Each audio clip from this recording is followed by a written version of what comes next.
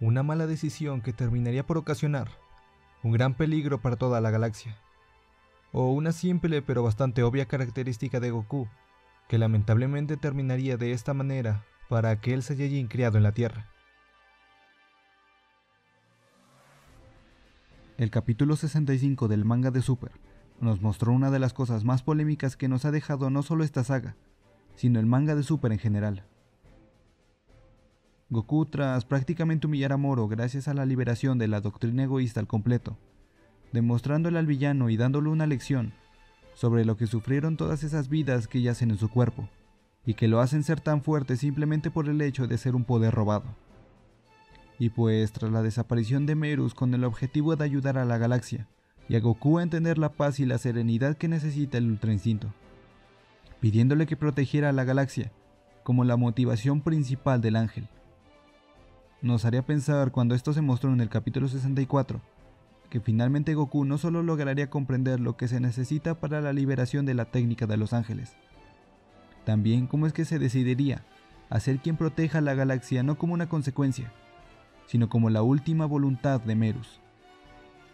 Sin embargo, tras esas palabras sobre enfrentar a Moro como un terrícola, nos dejaría pensando en su accionar tras todo esto. Y como ya lo sabemos, Goku terminaría por ayudar a Moro, entregándole una semilla del ermitaño siempre y cuando se arrepintiera de sus actos y regresara a la prisión galáctica por cuenta propia.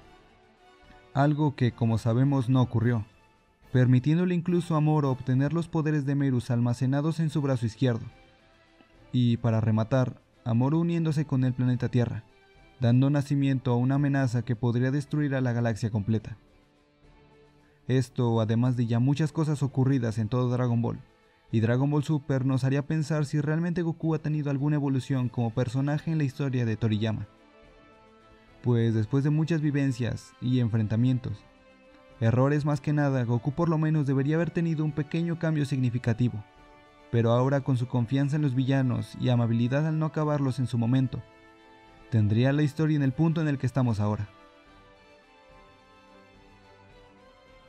Pero esto es algo que realmente Goku como personaje debería haber cambiado a lo largo del tiempo.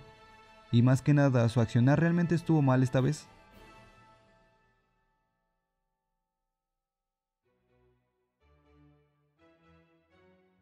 Para esto tendremos que regresar a lo que fueron los inicios de Dragon Ball. Y es que, a pesar de todo, los inicios no se enfocaron en los combates, algo que cambiaría en su momento, pero que todo se centraría principalmente en la aventura, y en la búsqueda de las esferas del dragón.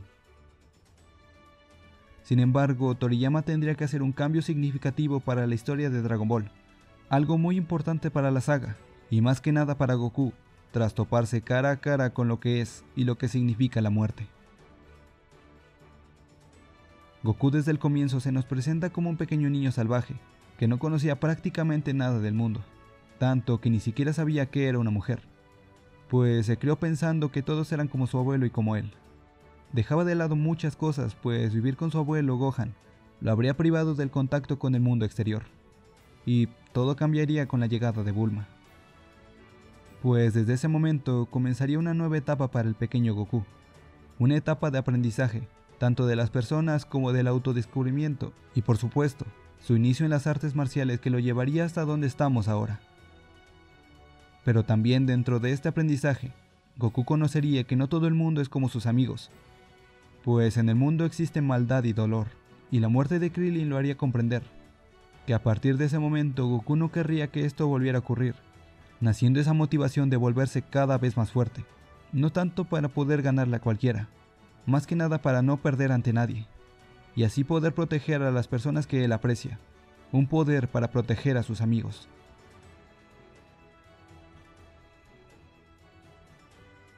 La muerte de Krillin sería un antes y un después para Goku, pues la venganza lo llevaría a enfrentarse al culpable de todo esto, al gran Picoro Daimaku.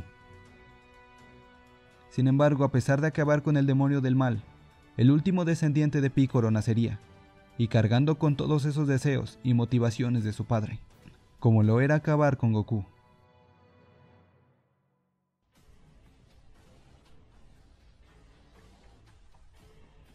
Tras su gran enfrentamiento y tras conocer la amenaza que podría implicar el descendiente de la familia del mal, a pesar de todo, Goku haría una acción que sorprendería a todos, pues le daría una semilla del ermitaño.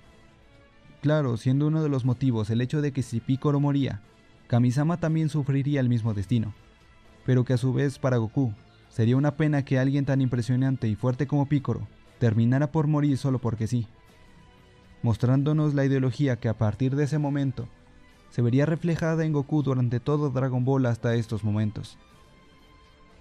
La mentalidad de enfrentar a seres muy poderosos con el objetivo de seguir siendo más fuerte. Claro, todo en base en sus orígenes Saiyajin, orígenes que no conocíamos en esos momentos, pero que forjarían la personalidad y esa ya clásica manera de pensar de Goku, siendo gentil pero a su vez siendo un egoísta en sus propios beneficios, al solo querer superar sus poderes y el de los demás, específicamente el de sus enemigos. Algo que incluso el mismo Picoro mencionaría, que esa amabilidad terminaría por costarle la vida. Claro, aunque Goku bajo su propia perspectiva, solamente encontraría una respuesta para eso. Y es que para que eso no ocurriera, él se encargaría de ser cada vez más fuerte. Llegando posteriormente a los sucesos de Dragon Ball Z, con los principios durante la saga de los Saiyajin, Goku vería recompensada su amabilidad al ayudar a Piccolo, con su apoyo durante el enfrentamiento en contra de su hermano Raditz. Y que lo importante en este enfrentamiento sería ver cómo es que también a pesar de conocer de lo que era capaz su hermano, Goku tomaría su palabra al pedirle piedad, y que terminaría por ser catastrófico pues la gran consecuencia de esto fue la muerte de ambos Saiyajin.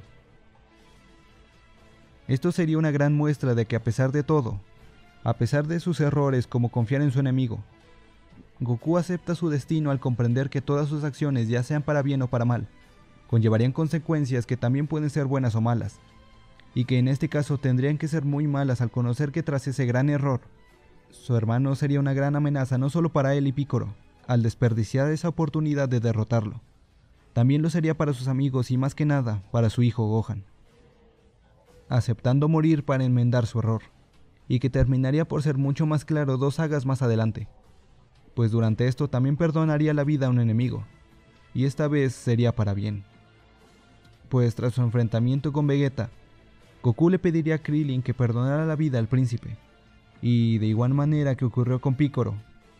Esto sería algo bastante extraño, sabiendo que Vegeta podría regresar por venganza, pero que agradecemos en gran manera porque sin esto, no tendríamos al mejor personaje de todo Dragon Ball.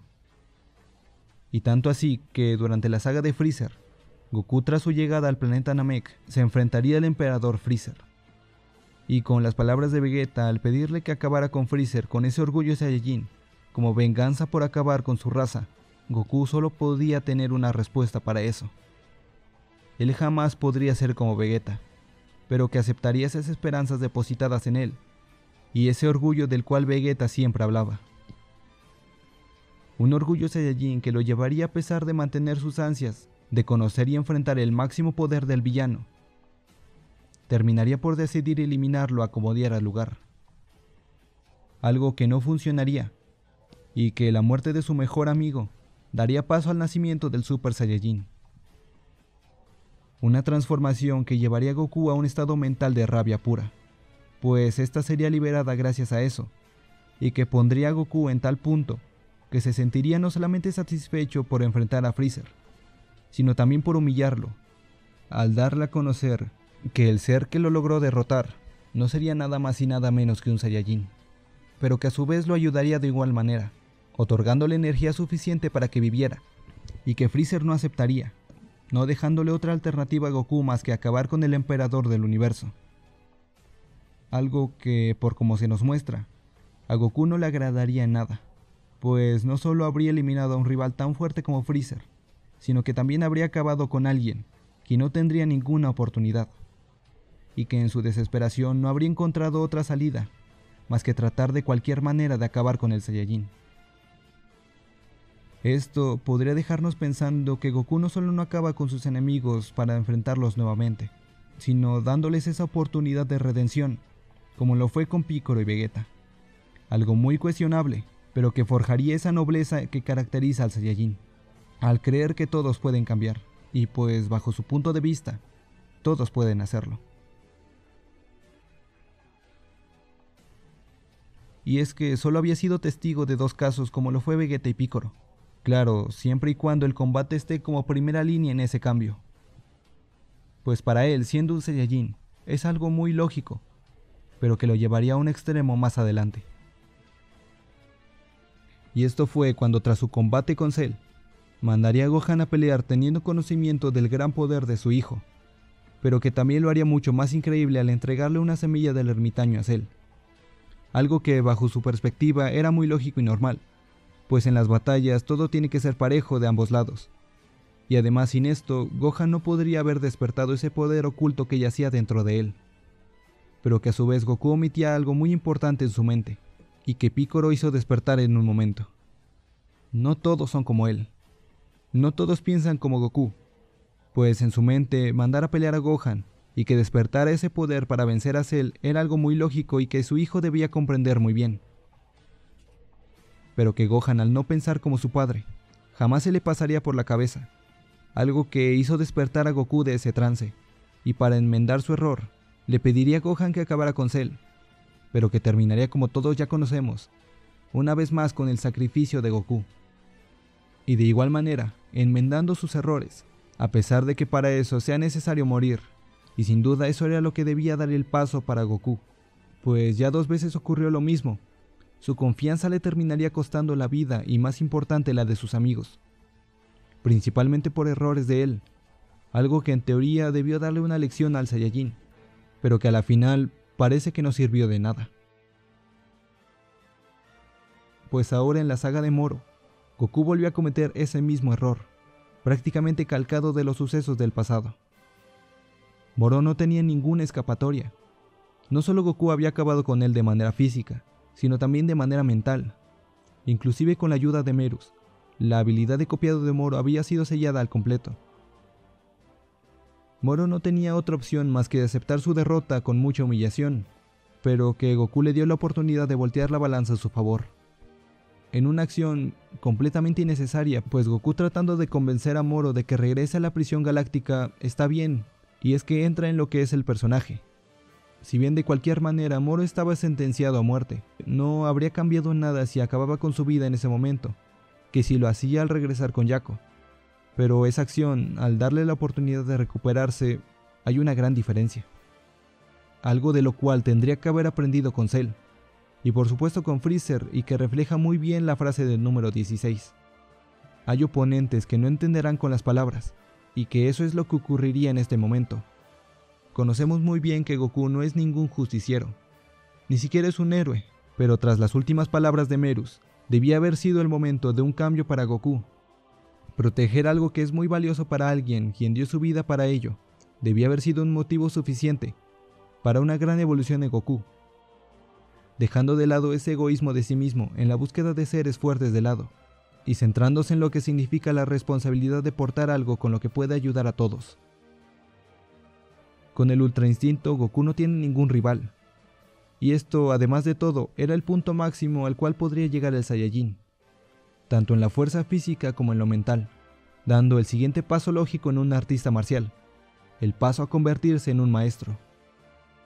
Pero que con esto todo se cae, porque nos deja ver que Goku no ha aprendido nada de sus errores del pasado, pues la práctica de todo maestro, el ensayo y el error, no habría dado efecto en Goku, aunque el hecho de perdonar a tus adversarios es algo que podría considerarse justo y honorable para un artista marcial, el hecho de conocer que no existe ninguna otra alternativa es algo que Goku también debería ya conocer. Y esperemos el Saiyajin aprenda finalmente, pues este podría ser el momento para dar ese salto. Ahora, Goku se ha dado cuenta que ese error ha puesto en peligro no solo la galaxia, también las mismas esperanzas y la voluntad de quien alguna vez fue su maestro algo que le haría despertar a Goku, que no significa qué ropas puedas llevar puestas. Como lo vimos con el símbolo de la patrulla galáctica, un símbolo que para Meru significaba mucho, como protector de la paz y la felicidad de los seres inocentes, aunque fuese de manera indirecta. Goku siguió esos ideales para proteger a la galaxia, pero que cambió por completo al quitarse ese símbolo. Esto debería mostrarle a Goku que los errores pueden ocurrir. Todo depende si aprendes de ellos y esperemos que finalmente lo haga, pues esto es lo único que puede darle una tardía, pero esperada evolución a todo un maestro de las artes marciales.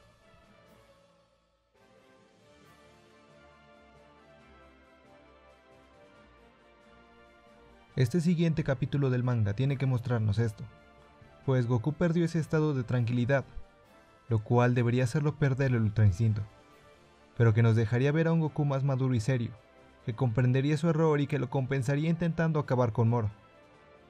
Esta vez junto a Vegeta, quien también podría hacerle ver esto y le ayudaría a comprender y evolucionar. Claro, puede que esto jamás suceda, y Goku siga manteniendo esa mentalidad propia sin ningún cambio pero que en lo personal este es el momento para poder ver a Goku crecer en una gran manera. Claro, si no es que antes la nueva saga sigue manteniéndose antes del final de Dragon Ball, lo cual podría dar una gran oportunidad más para poder ver esto de lo que estoy hablando. Cómo es que Goku termina de forjar esa mentalidad que tanto amamos y odiamos al mismo tiempo. Una mentalidad algo torpe, muy alegre y muy cariñosa, pero que también lo haría ser más serio y más enfocado en cuanto a los combates, y más enfocado en cuanto a los riesgos que puede generar un villano, y que a su vez la haría no solo ser su ideología de vida, también siendo esta la cual enseña a Up en su momento.